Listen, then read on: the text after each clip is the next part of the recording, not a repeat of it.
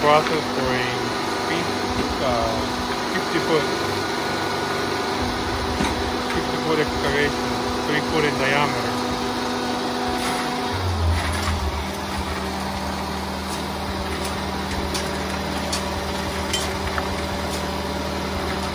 This wheelbarrow takes two wheelbarrows out of one auger.